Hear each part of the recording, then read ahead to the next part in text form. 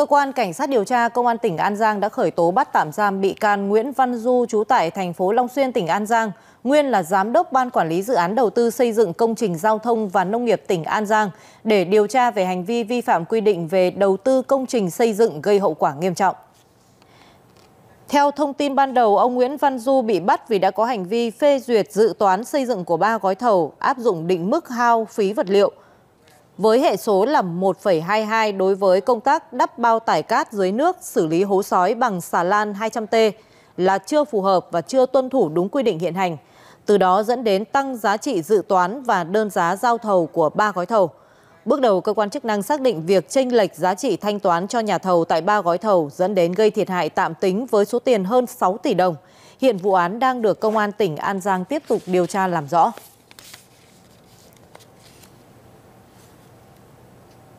Công an thành phố Phổ Yên, tỉnh Thái Nguyên vừa phát hiện và bắt quả tang Nguyễn Văn Thái trú tại phường Thuận Thành, thành phố Phổ Yên về hành vi mua bán trái phép chất ma túy. Vào tối ngày 22 tháng 3, lực lượng công an đang thực hiện tuần tra kiểm soát tại đoạn đường quốc lộ 3 thuộc phường Trung Thành, thành phố Phổ Yên thì nhận được tin báo của quần chúng nhân dân về việc một người đàn ông có dấu hiệu mua bán trái phép chất ma túy tại nhà nghỉ Hồng Phát. Tiến hành kiểm tra, tổ công tác bắt giữ Nguyễn Văn Thái về hành vi mua bán trái phép chất ma túy, thu giữ hơn 37,5 gam heroin, hơn 100 gam ma túy đá và 198 viên ma túy tổng hợp. Tại cơ quan công an, đối tượng khai nhận mua số ma túy trên ở Hà Nội với mục đích mang về Thái Nguyên để bán kiếm lời và sử dụng cá nhân. Thời gian vừa qua, tình hình tội phạm và tệ nạn ma túy trên địa bàn cả nước luôn tiềm ẩn diễn biến phức tạp, nhất là việc xuất hiện ngày càng nhiều loại ma túy, tiền chất ma túy mới, núp bóng các loại thực phẩm như là bánh kẹo, đồ uống, thuốc lá điện tử và việc gia tăng tình trạng thanh thiếu niên tụ tập tại các tụ điểm kinh doanh dịch vụ karaoke, nhà nghỉ, khách sạn để sử dụng trái phép chất ma túy. Tất cả đã đặt ra những thách thức đầy cam go trong cuộc chiến chống cái chết trắng trong toàn xã hội. Ghi nhận sau đây vừa được thực hiện tại Bạc Liêu. Hiện nay xuất hiện ngày càng nhiều loại ma túy, tiền chất ma túy mới, núp bóng các loại thực phẩm như bánh kẹo, đồ uống, thuốc lá điện tử và việc gia tăng tình trạng thanh thiếu niên tụ tập tại các điểm kinh doanh dịch vụ karaoke, nhà nghỉ, khách sạn để sử dụng trái phép chất ma túy. Công an Bạc Liêu đã phối hợp với đội kiểm tra liên ngành 178 tổ chức kiểm tra 40 cơ sở kinh doanh có điều kiện về an ninh trật tự như karaoke, nhà nghỉ, khách sạn, triệt xóa 18 vụ liên quan tới 112 đối tượng vi phạm pháp luật về ma túy khởi tố 15 vụ, 25 bị can về các hành vi mua bán, tàng trữ, tổ chức sử dụng trái phép chất ma túy, tước giấy phép đối với hai cơ sở karaoke vi phạm, xử phạt hành chính 80 đối tượng với tổng số tiền hơn 110 triệu đồng. Triển khai đồng bộ các biện pháp nghiệp vụ, đánh giá phân tích nguyên nhân điều kiện làm phát sinh phát triển tội phạm và tệ nạn ma túy để có giải pháp biện pháp đối sách đối với từng đối tượng cụ thể đánh mạnh đánh đúng đánh trúng ờ, đối tượng chủ mưu cầm đầu không để hình thành điểm tụ điểm phức tạp về ma túy gây dư luận trong nhân dân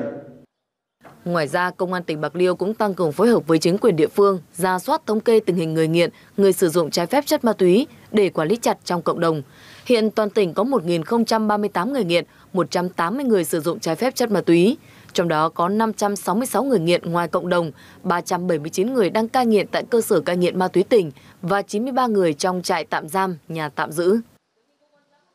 Trong thời gian qua, cái việc tiếp nhận đưa người nghiện vào cơ sở khá là đông mà với khả năng quản lý của người nghiện ở tại cơ sở thì nói chung còn hạn chế. Bên cạnh đó thì cơ sở cai nghiện ma túy cũng chủ động là phối hợp với phòng cảnh sát điều tra tội phạm về ma túy để tham mưu cho công an tỉnh cũng như sở lao động thương binh và xã hội để có cái chỉ đạo cho các cái địa phương để điều tiết cái việc đưa học viên vào cơ sở trong thời gian qua, đã góp phần cho đơn vị đảm bảo được công tác tiếp nhận cũng như đảm bảo được cái công tác quản lý. Xác định phòng ngừa là yếu tố quan trọng trong việc nâng cao hiệu quả công tác phòng chống và kiểm soát ma túy. Công an các cấp đã tổ chức nhiều buổi tuyên truyền, phát tờ rơi về phương thức, thủ đoạn hoạt động của tội phạm, tệ nạn ma túy, đồng thời tăng cường công tác phổ biến giáo dục pháp luật về phòng chống ma túy với nhiều cách làm mới sáng tạo tại các trường học trên địa bàn tỉnh. Qua đó, góp phần trang bị cho các em học sinh đầy đủ kiến thức về pháp luật, nâng cao nhận thức, ý thức thượng tôn pháp luật và tinh thần cảnh giác, chủ động phòng ngừa tệ nạn ma túy trong môi trường học đường. Trong năm qua thì em đã tham gia cuộc thi tổ chức tìm hiểu về ma túy học đường do Vinh Biết Công an đã tổ chức tại trường của em. Thông qua cuộc thi thì em đã nhận dạng được mối nguy hiểm của ma túy cũng như các chất kích thích. Thông qua đó em sẽ tự nhắc nhở bản thân mình nghiêm khắc không sử dụng ma túy dù chỉ một lần và ra sức tuyên truyền đến với các bạn bè xung quanh. Với sự vào cuộc quyết liệt của cả hệ thống chính trị, tin chắc rằng tình hình tội phạm tệ nạn ma túy trên địa bàn tỉnh sẽ được kiềm chế kéo giảm. Song, thiết nghĩ, bên cạnh sự quyết liệt của lực lượng chức năng cũng cần có sự chung tay của mỗi người dân với ý thức nói không với ma túy, góp phần hạn chế đến mức thấp nhất hiểm họa do cái chết trắng gây ra cho xã hội. Công an thành phố Thuận An đang xác minh điều tra làm rõ vụ đuổi đánh nhau xảy ra vào khoảng 23 giờ 20 phút tối ngày hôm qua trên đường N9 khu dân cư Thuận Giao, phường Thuận Giao, thành phố Thuận An, tỉnh Bình Dương. Theo hình ảnh từ camera an ninh của nhà dân ghi lại, hai thanh niên đi trên một xe máy đã bị hai thanh niên cùng đi trên một xe máy khác đuổi theo. Lo sợ bị tấn công, hai thanh niên chạy vào bên trong khu vui chơi trẻ em, xong vẫn bị hai thanh niên truy đuổi, dùng bàn ghế tấn công. Sau đó ba thanh niên khác đã xuất hiện, cả nhóm 5 người tiếp tục tấn công đánh hội đồng hai nạn nhân. Trước khi rời khỏi hiện trường, nhóm thanh niên còn đập phá xe máy của các nạn nhân. Nhằm phòng ngừa nguy cơ phạm tội và tái phạm tội của lứa tuổi thanh thiếu niên, cơ quan thi hành án hình sự công an huyện Thanh Hà đã tổ chức buổi tuyên truyền giáo dục cá biệt và ký cam kết chấp hành nghiêm các quy định của pháp luật về an ninh trật tự đối với các thanh thiếu niên đã có hành vi vi phạm pháp luật về an ninh trật tự trên địa bàn. Tại buổi tuyên truyền ký cam kết đã có 29 trường hợp tham gia. Đây là các trường hợp vi phạm pháp luật có liên quan đến các vụ án về gây dối trật tự công cộng hoặc cố ý gây thương tích đã có quyết định thi hành án trong năm 2023 và đầu năm 2024. Số các trường hợp này được hưởng án treo có thời gian thử thách. Nội dung tuyên truyền ký cam kết liên quan đến các lĩnh vực an ninh trật tự, trật tự an toàn giao thông, thi hành án tại cộng đồng, trong đó tập trung vào các quy định nghiêm cấm của pháp luật, buộc các trường hợp được tuyên truyền giáo dục cá biệt cần phải thực hiện nghiêm để tránh nguy cơ phạm tội, tái phạm tội trong thời gian chấp hành án tại cộng đồng. Trước thực trạng nhiều phương tiện xe ba bánh, xe tự chế, xe mô tô kéo theo những xe khác chở hàng công kênh lưu thông trên đường gây nguy hiểm, tiềm ẩn nhiều nguy cơ xảy ra tai nạn giao thông. Phòng Cảnh sát Giao thông Công an Hà Nội đã cử cán bộ chiến sĩ xuống nhiều địa bàn, thực hiện tuyên truyền hướng dẫn các tiểu thương và tài xế ký cam kết là không sử dụng các phương tiện tự chế để chở hàng công kênh sai quy định. Ông Nguyễn Duy Liên, chủ cửa hàng kinh doanh vật liệu xây dựng tại chợ Láng Hạ chia sẻ, Ông kinh doanh một số mặt hàng công cành, Hàng ngày khi có khách mua hàng, nếu gần thì người mua phải tự trở về. Còn ở xa thì ông thường thuê xe ba gác vận chuyển với giá thành rẻ. Sau khi được các cán bộ chiến sĩ đội cảnh sát giao thông số 3, phòng cảnh sát giao thông Hà Nội tuyên truyền về mức độ nguy hiểm khi vận chuyển hàng công cành, ông đã hiểu và tự nguyện ký cam kết. Là các anh tuyên truyền là để nếu mà mình mà sở công cành quá ấy, thì là không nên thì thầy, gia đình cũng nghiên cứu để là tức là có thể nếu mà xe ba bánh mà không đi được thì có thể là phải uh, thuê xe ô tô hoặc là như nào đấy. Hiện trên địa bàn quận Đống Đa có chợ Láng Hạ và chợ đầu mối hoa quả tập trung rất nhiều tiểu thương kinh doanh buôn bán. Trong đó có nhiều hộ kinh doanh các mặt hàng có kích thước lớn, cồng kềnh. Với tinh thần không có người thuê sẽ không có người chở, không có người chở sẽ không xảy ra tai nạn. Các chiến sĩ thuộc đội cảnh sát giao thông số 3 đã đi tới từng hộ kinh doanh để phát tờ rơi cũng như tuyên truyền về pháp luật cho người dân và người điều khiển xe tự chế. Đội cảnh sát giao thông đường bộ số 3 phòng cảnh sát giao thông công an thành phố Hà Nội chúng tôi đã tổ chức một chương trình tuyên truyền dài ngày đến tất cả các tiểu thương thương lái ở tất cả các khu chợ đang nằm trên địa bàn đội cảnh sát giao thông đường bộ số 3 chúng tôi quản lý và uh, chúng tôi đã đến từng từng chợ để tuyên truyền cho các tiểu thương bởi vì chúng ta đều biết rằng là khi mà có nhu cầu thì sẽ có người cung cấp, đã có cầu thì sẽ có cung. Chính vì vậy mà chúng tôi đã tuyên truyền cho tất cả các tiểu thương về các mặt hàng mà ở chợ họ đang bán để không có những cái nhu cầu chuyên chở hàng hóa gây cơi nới thành thùng bề cao bề rộng chiều dài đằng sau của xe. Ngoài những việc ờ, phối hợp cùng ờ, đội thoát thông số 3 thì ban lý chợ cũng có tổ bảo vệ thường xuyên tuần tra kiểm tra kiểm soát cũng như là là phát hiện ra những cái trường hợp mà mà ờ, tư thương tại chợ thuê những cái xe quá khổ quá tải để vận chuyển hàng đi trên đường thì cũng có ngăn chặn kịp thời để để ờ, tránh trường hợp mà các tiểu thương thường xuyên cũng như là, là, là thuê và vận chuyển để, để gây ảnh hưởng đến uh, giao thông đường bộ. Thời gian tới, bên cạnh việc yêu cầu các tiểu thương ký cam kết, Phòng Cảnh sát Giao thông Công an Hà Nội cũng sẽ thường xuyên tăng cường quân số, chốt chặn ở các tuyến đường để kiểm tra xử lý với quyết tâm xây dựng văn hóa giao thông thủ đô an toàn, văn minh và sạch đẹp. Công an thành phố Vĩnh Long, tỉnh Vĩnh Long vừa khởi tố vụ án khởi tố bị can và lệnh bắt tạm giam 2 tháng đối với Nguyễn Quốc Vương, trú tại phường 5 thành phố Vĩnh Long để điều tra về hành vi cho vay lãi nặng trong giao dịch dân sự. Trước đó, Công an tỉnh Vĩnh Long tiếp nhận nguồn tin có dấu hiệu tội phạm cho vay lãi nặng trong giao dịch dân sự nên lực lượng tiến hành xác minh. Qua điều tra, lực lượng công an đã làm rõ hai trường hợp vay tiền của Vương với số tiền cho vay và lãi suất trên 200 triệu đồng. Ngày 12 tháng 3, Công an tỉnh Vĩnh Long bắt quả tang khi Vương đang nhận số tiền 10 triệu đồng từ người vay nợ.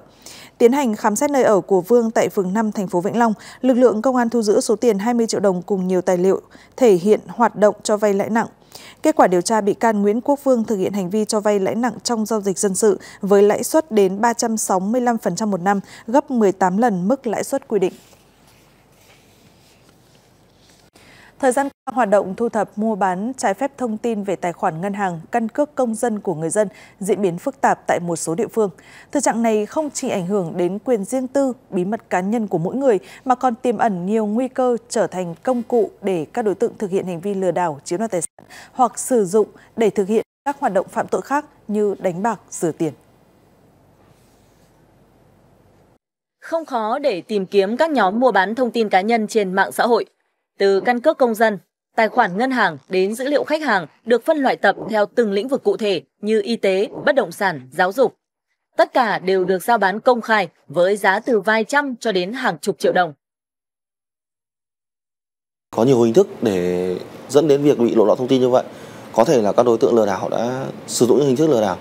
đưa cho nạn nhân chủ động điền những cái thông tin cá nhân vào như là như là các cái form khảo sát để tham gia vào chương trình khuyến mãi này bạn cần phải điền vào đây thông tin khảo sát. Thì người dân nhiều người dân không cần ngại mà điền đầy đủ thông tin như là tài khoản ngân hàng số tài khoản ngân hàng này địa chỉ họ tên số điện thoại đang như thế nào. Các đối tượng đã lợi dụng cái vấn đề này để tiếp tục thực hiện các hành vi lừa đảo chiếm đoạt tài sản. Có khi trong những cái vụ án cái thiệt hại có lên đến tiền tỷ nhưng mà khi chúng ta chỉ còn có thể trong một cái thời gian rất ngắn thôi chỉ có khoảng tiếng đồng hồ thôi nhưng mà cái tài sản ở trong cái tài khoản mà cái nạn nhân chuyển vào ấy, nó đã được chuyển qua hàng vài chục cái tài khoản khác rồi. Thủ đoạn của các đối tượng là lợi dụng sự thiếu hiểu biết của người dân rồi đưa ra nhiều lý do, xin chụp ảnh chân dung, chụp ảnh căn cước công dân. Mỗi lần chụp thành công, các đối tượng có thể trả cho người dân từ 100 đến vài trăm nghìn đồng. Với tài khoản ngân hàng, các đối tượng sẽ tìm kiếm các cá nhân có thu nhập thấp đang cần tiền như học sinh, sinh viên, công nhân để dụ dỗ, lôi kéo mở tài khoản ngân hàng. Sau khi mở tài khoản thành công, các đối tượng sẽ thu mua lại các cái ờ, trường hợp mà mua bán sử dụng trái phép thông tin ờ, cá nhân ờ, đều sẽ bị xử lý tùy theo cái mức độ và vi phạm mà có thể bị xử lý từ hành chính cho đến xử lý về hình sự và cụ thể là đối với cái trường hợp mà thu lợi bất chính từ 50 triệu đồng trở lên hoặc gây thiệt hại có giá trị từ 100 triệu đồng trở lên là có thể bị xử lý hình sự theo quy định của Bộ luật hình sự 2015. Sau khi có thông tin dữ liệu cá nhân, tài khoản ngân hàng của người dân, các đối tượng bán thông tin cho các đối tượng khác, kể cả người nước ngoài, để sử dụng vào mục đích phạm tội, vi phạm pháp luật như chuyển tiền đánh bạc, chuyển hoặc nhận tiền sau khi đã thực hiện hành vi lừa đảo chiếm đoạt tài sản. Vừa qua, Công an tỉnh Nghệ An đã triệt phá một đường dây mua bán trái phép thông tin tài khoản ngân hàng nhằm lừa đảo chiếm đoạt tài sản do đối tượng Phạm Ngọc Đạt cầm đầu. Điều đáng nói là tất cả các tài khoản sau khi được Đạt bán cho đối tượng ở Campuchia đều sử dụng để lừa đảo chiếm đoạt tài sản trên không gian mạng với lượng tiền giao dịch lên đến 200 tỷ đồng một tài khoản. Lợi nhuận thì có thể là chỉ là vài triệu, vài triệu đồng là cao thôi. Nhưng mà cái ngược lại, những cái phiền phức mà mình có thể phải chịu sau đó là những cái hành vi vô hình dung mà là mình đã tiếp tay cho cái hành vi phạm tội hoặc chí ít là mình cũng sẽ vướng vào những cái vấn đề phiền phức mất thời gian cho vấn đề giải trình à, để mà thực hiện cái việc phối hợp với các cơ quan chức năng điều tra cái vụ việc nếu như có cái đối tượng đã mượn cái tài khoản của mình sử dụng cái tài khoản của mình để thực hiện hành vi phạm tội. Phần lớn những người cho thuê, cho mượn căn cước công dân hoặc tài khoản ngân hàng không biết việc sử dụng thông tin tài khoản để thực hiện hành vi phạm tội. Cơ quan chức năng khuyến cáo người dân tuyệt đối không đăng tải chia sẻ hình ảnh căn cước công dân, tài khoản ngân hàng lên mạng xã hội hoặc cho người sử dụng không có mục đích chính đáng. Khi cung cấp thông tin cá nhân, tài khoản ngân hàng cho các đơn vị cung cấp dịch vụ, cần có cam kết bảo đảm an toàn thông tin cá nhân. Công an huyện Xuân Lộc, tỉnh Đồng Nai vừa phối hợp với huyện Thanh Trương, tỉnh Nghệ An, bắt giữ đối tượng truy nã Trần Văn Bình, 30 tuổi, quê ở tỉnh Nghệ An, về tội trộm cắp tài sản. Theo hồ sơ công an vào tháng 7 năm 2023, Bình đã thực hiện một vụ trộm cắp tài sản trên địa bàn xã Suối Cát, huyện Xuân Lộc rồi trốn khỏi địa phương. Ngày 26 tháng 1 năm 2024, Công an huyện Xuân Lộc đã ra quyết định truy nã toàn quốc đối với Trần Văn Bình. Sau thời gian đồng bộ áp dụng các biện pháp nghiệp vụ, mới đây Công an huyện Xuân Lộc phối hợp với Công an huyện Thanh Trương, tỉnh Nghệ An đã bắt được Bình khi đang lẩn trốn trên địa bàn.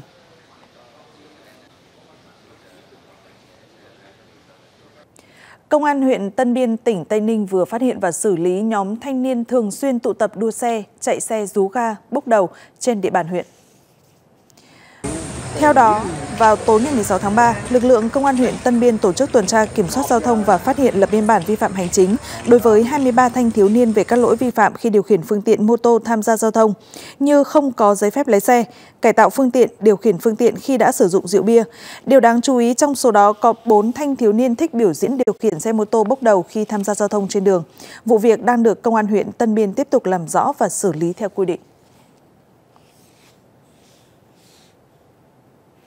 Mưa đá, gió lốc xảy ra tại huyện Sốp Cộp, tỉnh Sơn La trên diện rộng đã gây ra ra thiệt hại lớn về tài sản của người dân. Lực lượng chức năng tỉnh Sơn La đã nhanh chóng xuống địa bàn giúp các nhà trường và nhân dân khắc phục hậu quả.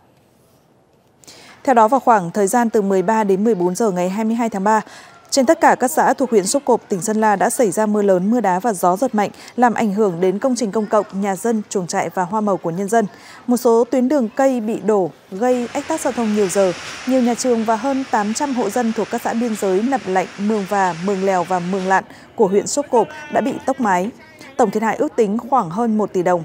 Ngay sau khi mưa tạnh, lực lượng chức năng tỉnh Sơn La đã huy động gần 80 cán bộ chiến sĩ xuống các nhà trường và hộ dân để khắc phục hậu quả ban đầu, giúp đỡ các hộ dân bị thiệt hại nặng, sửa chữa, lập lại mái nhà, gia cố chuồng trại, dọn dẹp đồ đạc để ổn định cuộc sống, dọn dẹp khuôn viên, sân bãi, các điểm trường bị thiệt hại.